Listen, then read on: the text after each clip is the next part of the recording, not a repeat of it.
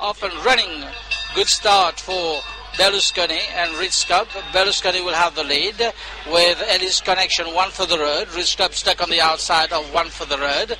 Then we do have the horse Gold Bid Molten. Then uh, Goldbid uh, is there. Germanion is just uh, next to Molten. Then three lengths behind we have Goldbid. The last horse is Keepers uh, and uh, Fashion Editor. So Berlusconi in the lead there with one for the road. Then Eddie's Connection and Ritz Cub. Then we do have uh, Molten in the outside of Germanion having a nice run on the fence there. Goldbid two or three lengths behind. Then Skippers and Fashion Editor. About 700 meters to go and Berlusconi still in the lead there with uh, one for the road on his outside.